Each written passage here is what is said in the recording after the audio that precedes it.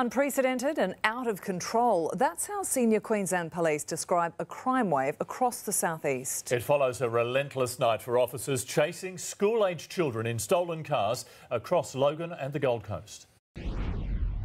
They are all under the age of 15, not old enough to drive, should be in bed. Instead, at 2 in the morning, they are scoping out cars, robbing homes without fear. They were just so brazen in what they did, I can't believe it. One of the trio involved in robbing Jackson Shaw's Gold Coast home, stealing his Audi while he was asleep, is just 12 years old. Police sources have told Nine News he is already a high risk offender, meaning he's a constant threat to the public. I guess that feeling of, of, of, being violated. This is the cost of this. It's, it's just disgusting. This was Jackson's Audi this morning, the 12 year old crashing into a parked car, one of six teenagers arrested at the scene.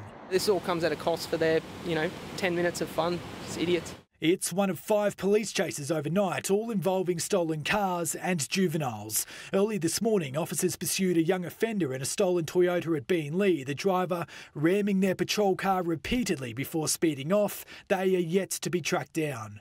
At Slacks Creek, two teenage girls were arrested after dumping a stolen hatchback, three boys in the car running from police. Multiple senior police sources have told me this juvenile crime issue is unprecedented, saying they do their job in locking the young kids up only for them to be released and rearrested a few days later. They no longer know the answer.